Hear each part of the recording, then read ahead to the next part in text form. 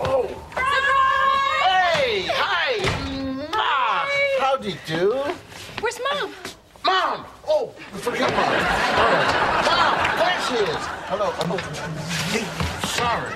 Leave me out in the cold. The trees are dead. Come on, man. Oh. I'm so oh. happy to Come see you. Thank you, sweetie. Thank you. Ooh. What's all this? Well, to celebrate your coming home and the fact that Griffin's record is being played on the radio. Oh, yeah, he did mention something about that in the car. I did. I didn't want to like tell you, you know, who it was. I didn't want to shock you, but it's it's the blind penguins. The blind, blind penguins. Blind penguins. Now, is that good? Ah, good. Yes. Even if it's not a big hit, I mean, I get a writing credit, I get a producing credit, and, and then my career could just take off. Yes, and, and I hope you take off with it. Oh, Pauline, Pauline, Pauline, I'll be pleased. Oh, Cosmo. no, no, I'm sorry. Just a little snow daddy. Oh, just a little snow, Daddy. All you young people just always say, just a little snow, Daddy.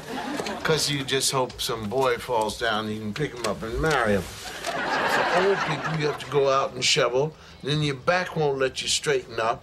You walk around on all fours, you come in the house to tell somebody about it, and then your heart attacks you.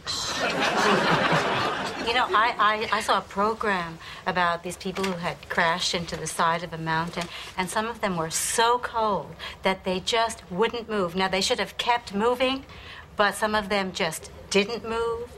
In fact, the only people who did move ate the people who did not move. You said all that to say what?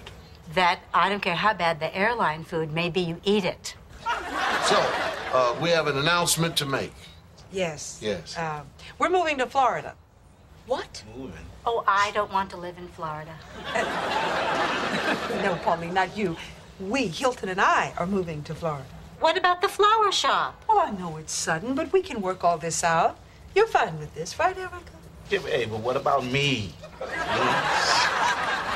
And just when is this going to take place? Well, the house goes on the market tomorrow morning. You're selling this house? Well, we have to sell it, honey. We can't afford a condo if we don't.